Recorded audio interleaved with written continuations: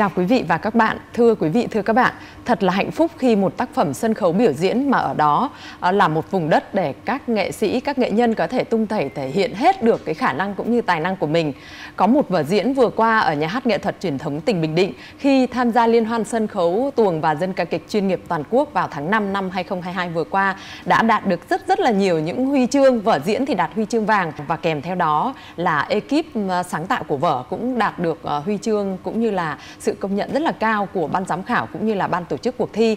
Và ngày hôm nay thì chúng ta sẽ cùng trò chuyện với một trong những người uh, tạo ra tác phẩm à, đó là vở uh, ca kịch uh, mang tên cô thần và đặc biệt là với ờ, sự có mặt của nghệ sĩ ưu tú Tấn Hào thì anh chính là người chuyển thể từ tác phẩm văn học đến với ờ, tác phẩm ờ, sân khấu, biểu diễn ở trên sân khấu và ngày hôm nay sau một thời gian có lẽ rất là khá là lâu rồi thì nghệ sĩ ưu tú Tấn Hào với tới tới với chúng ta trong chương trình đến với sân khấu truyền thống. Vâng xin chào nghệ sĩ ưu tú Tấn Hào.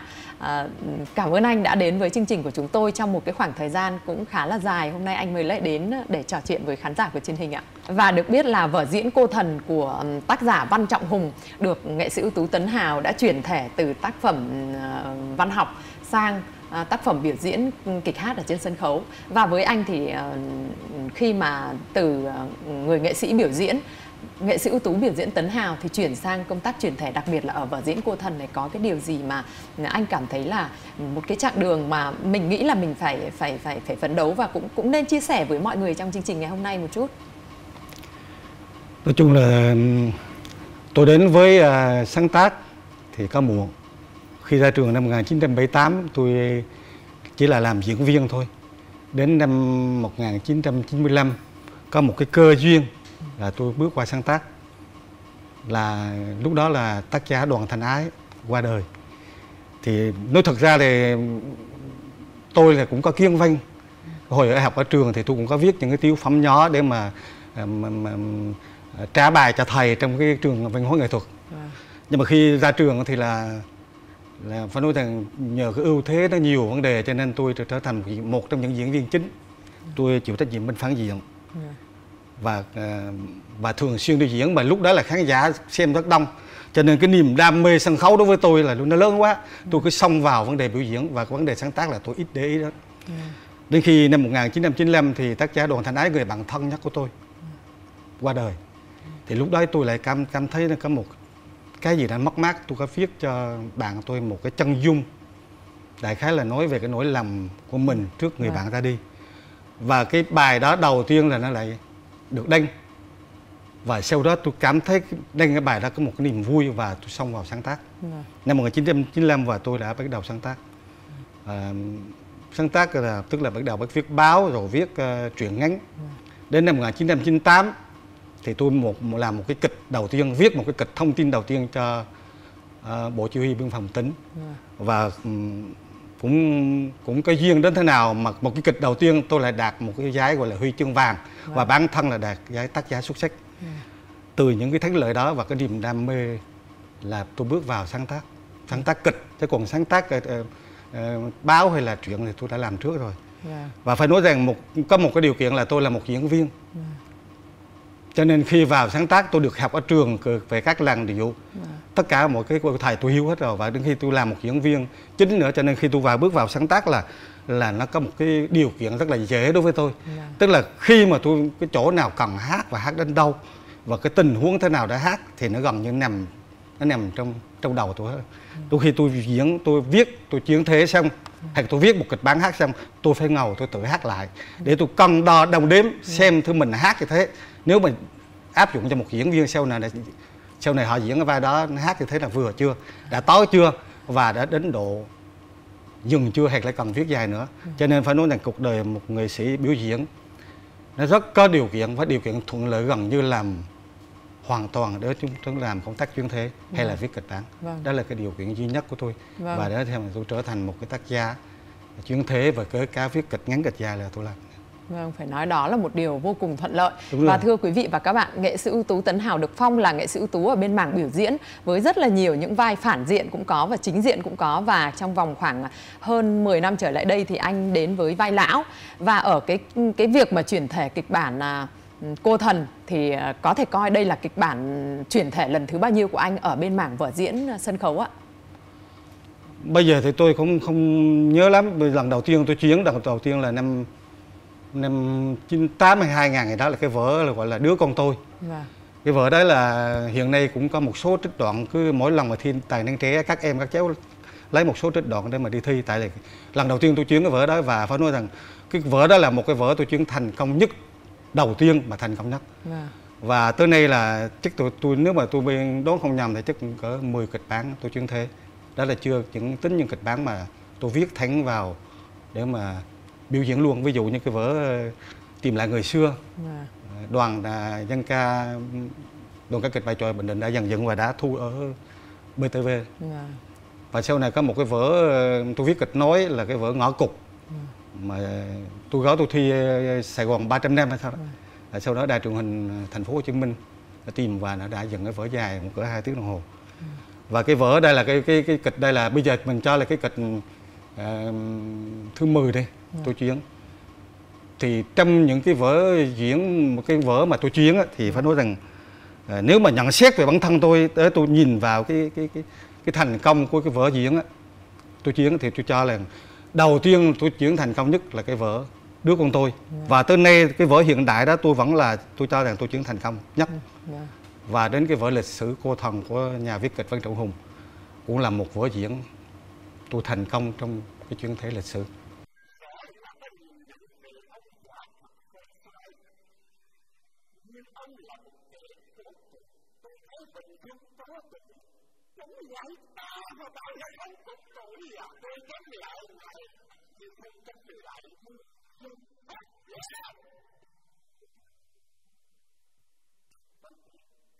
anh nên nhớ quý vị như là một con giặc bỏ của phó quý Tây sơ còn ta còn ta là con cháu hoàng tộc dân tộc phải là những sai trái của ông bà không thực chỉ thẳng không khỏe hơn lẽ ra ông phải biết được thời hình không Nguyễn Huệ cao thuộc dòng giỏi dân cha bản xếp thân thượng thân nâng phu thật vậy mà tự dám đua chém tự chỉ cơ sở nghĩa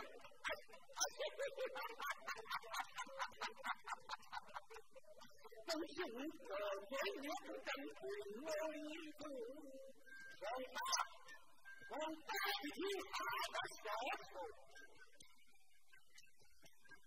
chân bằng cho nguyện sang người tuổi tôi trải qua cả mấy trăm năm từ khi mở trời phương nam quê nào nguyễn thị là một tên giặc võ anh đã rõ chưa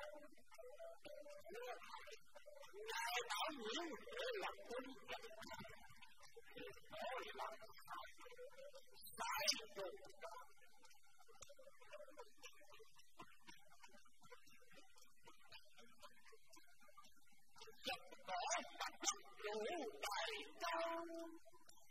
lòng làm tất ngọn cờ đỏ đầy sông và đây chúc ngàn năm chân hàng trăm năm tình nghĩa tân vật tình đau dập cỏ và quy động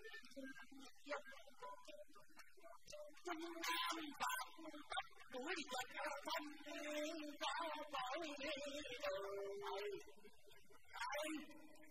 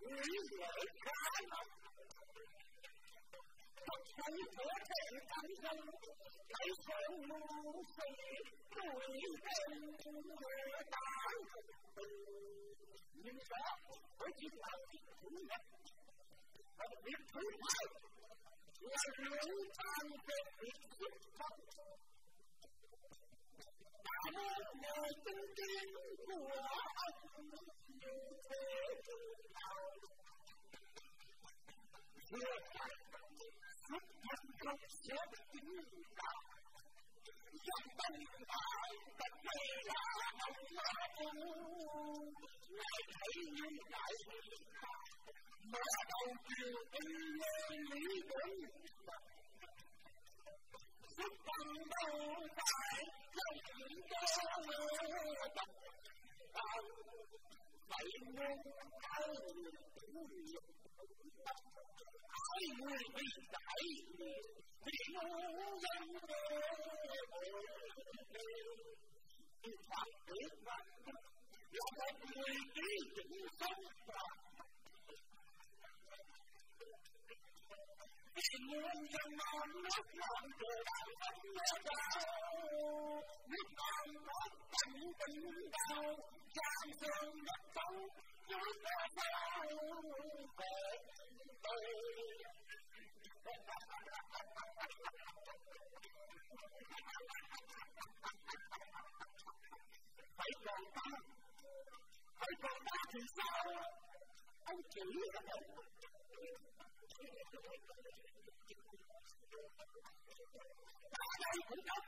giam thương đất cho thiên hạ sao về sao anh chỉ nhưng mà thôi bây giờ ta đã làm chiến thành rất ta là người hơn thua phân khởi vững vàng điều ta cần nhất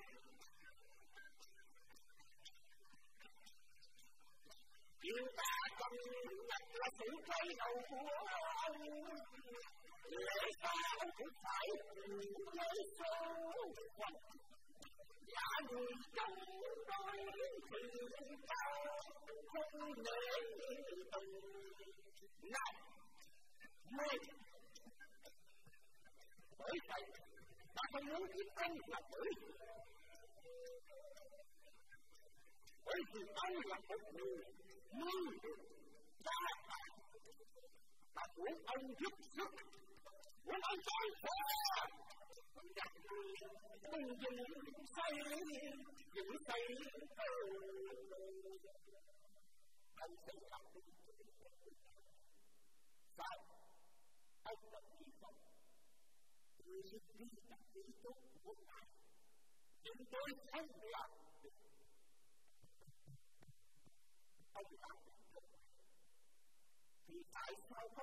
Thank you si rischia questo. Fala è di quanto intuito il nostro centro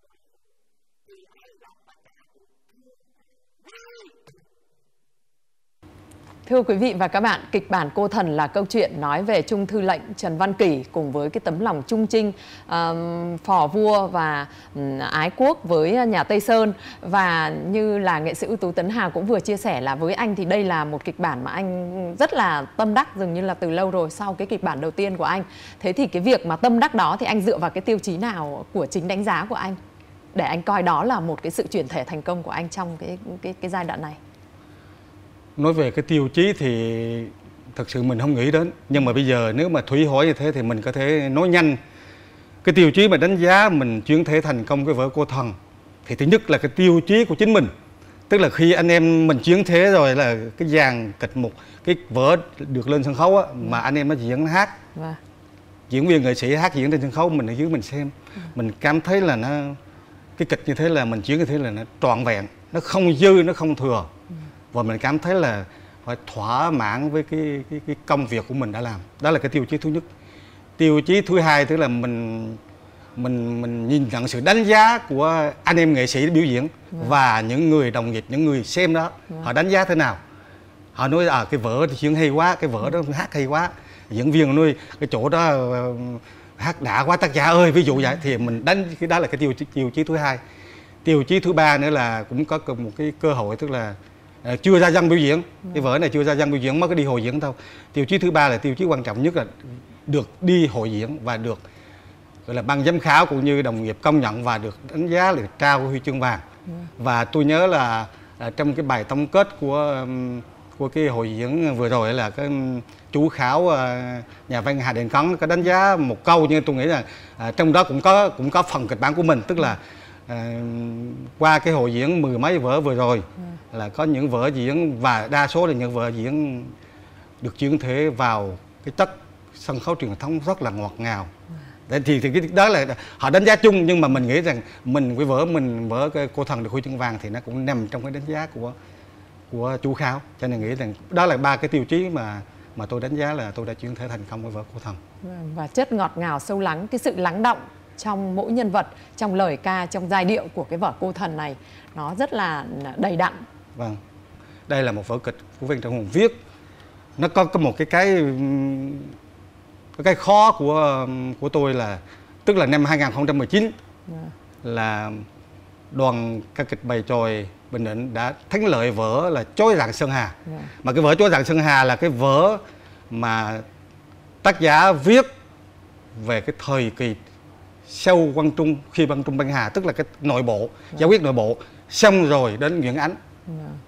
đó. thì cái vở cái vở cô thần đây nói thật là nó cũng mang cái cái chủ đề như thế Vâng. tức là mang cái, cái cái cái ý như thế tức là cũng giải quyết nội bộ nhưng mà nội giải quyết nội bộ đây khác nhân vật trước kia là à, Bùi Thị Xuân đi giải quyết nội bộ còn ở đây là là là là, là, là giải quyết nội bộ tức là à, Võ Văn Dũng giết Bùi Đắc Tuyên xong cái cái hồi đó là tới cái hồi cũng Nguyễn Ánh trở lại.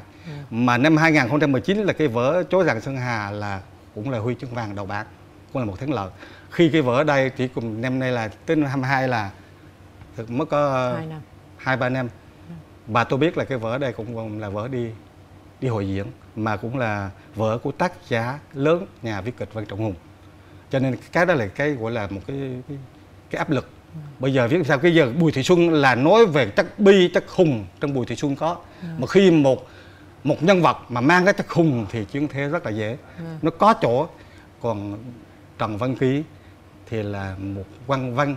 Và cái chết của Trần Văn Ký là tự vẫn ở dòng sông Lại Giang. Dòng xin lỗi dòng sông Hương Giang. Đây là một cái tứ Phan Trọng Hùng rất rất giỏi mới viết được cái tứ này. Tại vì nói chung cho quan văn là khó viết lắm. Cái chất hùng nó không có nhưng mà nó khó nhưng mà nó có cái hay của nó tức là à, tôi cũng cố gắng. Có những cái nào ví dụ như là khai thác về tình yêu mà một kịch bản một kịch bản văn học mà muốn chuyển thế qua kịch bản sân khấu truyền thống như kịch bản dân ca cụ thể dân ca hay thì phải có đầy đủ cái chất bi hùng và gọi là tình yêu đôi lứa Vâng. tình cảm. Chất trữ tình. À, cho nên tôi phải tôi biết những cái chỗ đấy cho nên tôi phải khai thác. Khai thác cái chất hùng đầu tiên giữa à, Bùi Đắc Tuyên Vâng. với ờ, Trần Văn Ký với Lê Công Hưng. Vâng. À, Lê Công Hưng. Ấy. cái chỗ mà Bùi Đắc Tuyên xứ ờ, Lê Công Hưng ấy, chỗ là cái chất mãnh liệt. Đó. phải khai thác cho nó tốt. Các bạn không để ý tới xem cái màn đó cái màn gần như cái màn xứ ừ, mâu thuẫn với nhau nhưng mà phải nói kịch hát của nó dày. Tôi viết hát từ đầu đến cuối mà nghe nó không bị giãn tiết tấu và đến khi cái mà cái chỗ mà quan trọng nhất bây giờ khai thác tới, tới cái, cái chất tình. Thì cái chất tình trong cái vở này chỉ có Châu Đan và Trần Văn Ký thôi. Vâng. và Châu Đan Trần Văn Ký là gặp hai lần. Một lần gặp ở tại bên sông khi Trần Văn Ký bị đầy bị Bùi Đắc Tuyên đầy ra cái dòng sông Lại Giang làm cái gác lên gác trạm. Và một lần Châu Đan gặp Trần Văn Ký và Châu Đan ra đi trước để nhường lại. Trần Văn Ký sống hoặc là nhường lại để Trần Văn Ký trở thành một người anh hùng trung nghĩa với triều Tây Sơn.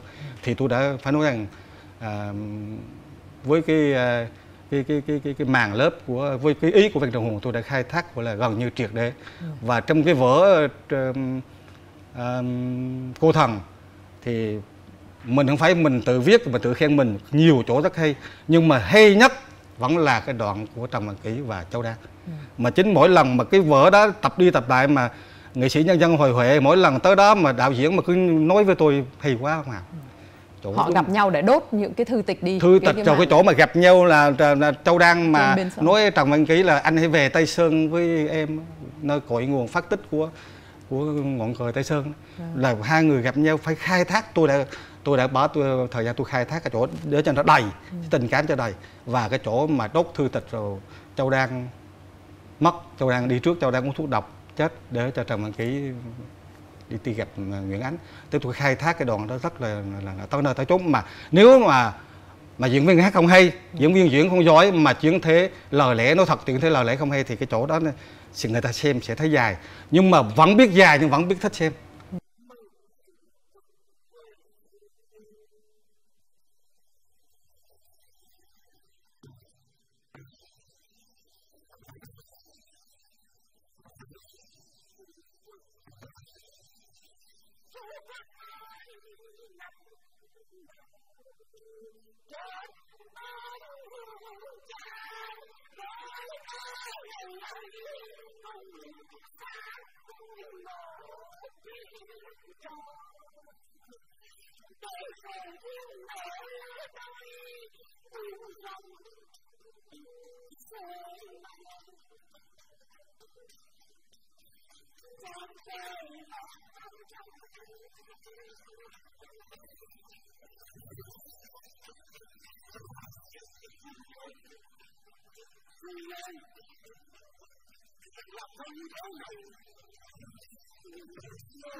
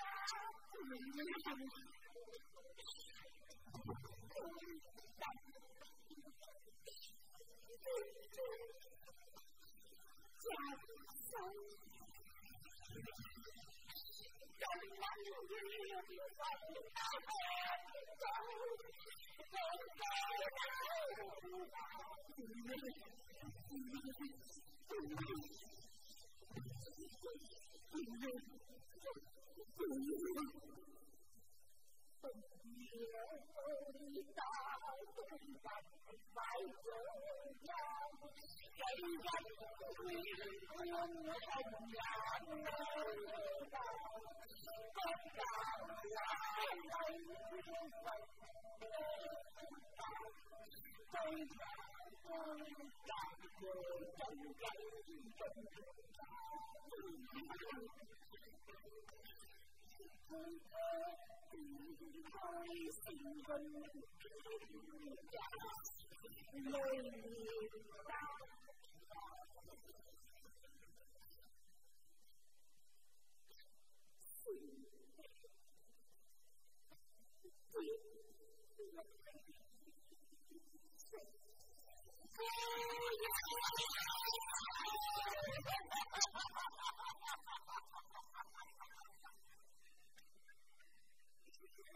我花红，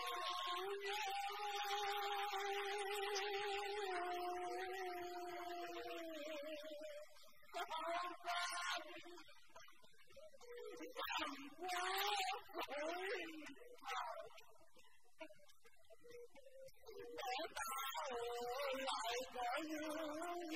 红，好花红，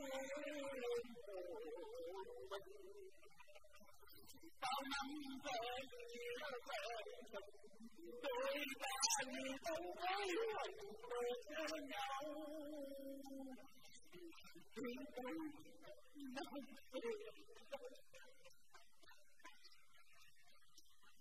Để ta bao người đau đau lúc đời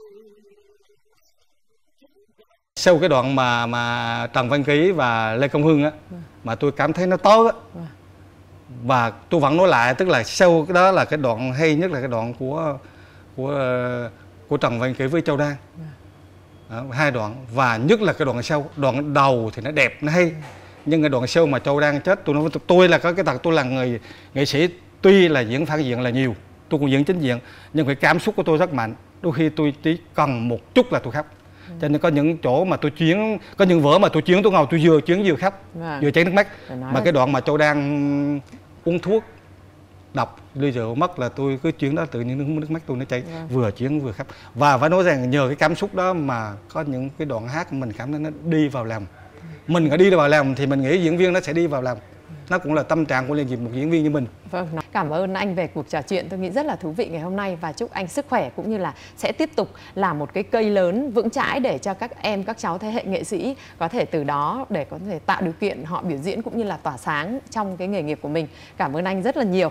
À, và bây giờ thì à, xin mời quý vị và các bạn khán giả chúng ta gặp lại à, một chút ở trong cái vai diễn vở Cô Thần, một cái vở diễn đã đạt được huy chương vàng tại Liên hoan sân khấu tuồng và dân ca kịch chuyên nghiệp toàn quốc mà nhà hát nghệ thuật truyền thống tỉnh Bình Định đã đạt được trong thời gian qua. Đến đây, chương trình xin được nói lời chào và hẹn gặp lại trong chương trình sau.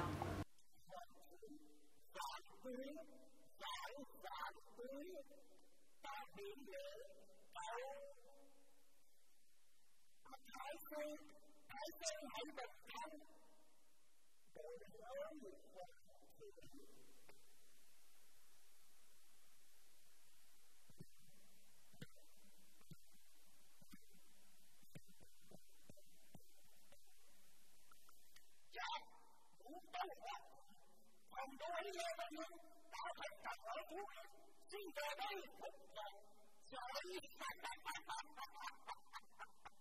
chúng quân giỏi lắm chúng quân hãy bình thân rồi người ta sẽ ban tận thưởng ở đó hoa thượng hôm nay tâm người ta không thị gì là để luận bàn kế sách nên quân chuyển ấm từ gia đình theo từ biển đánh ra những ban hoàn thượng ra để tổ chức trận bảo vệ quân sẽ làm tập trung mình một chính sách và làm các quân ta như vũ võ cùng cùng với ấm càng kéo ra những vụ bảo là Đại sư, Đại sư ơi, các quan, bây giờ ta phải làm sao?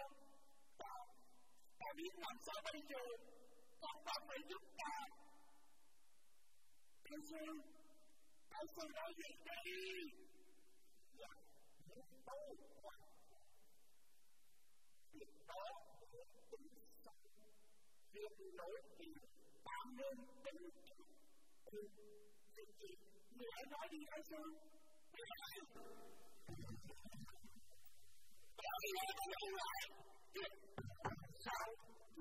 hay alguien que es de peligro, que es de peligro, Holy person, right?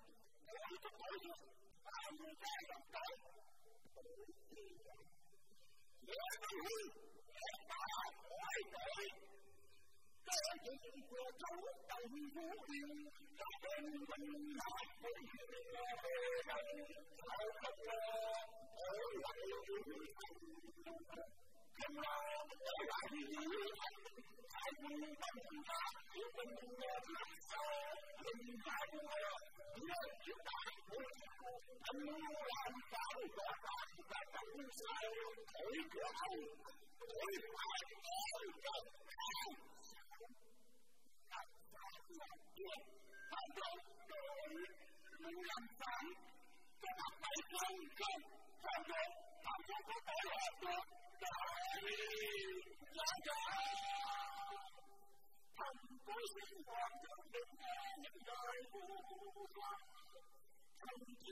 bên đồng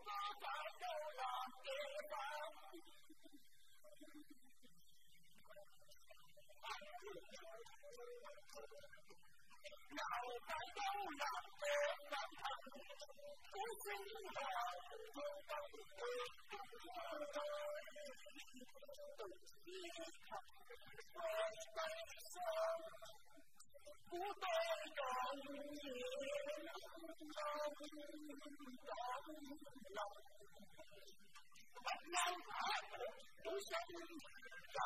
làm kế hoạch nào phải đâu làm việc làm thân tôi xin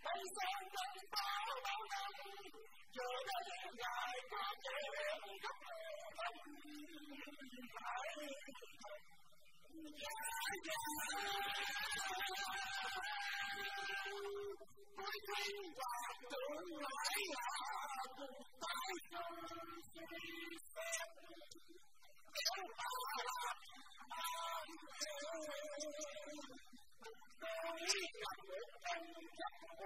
tôi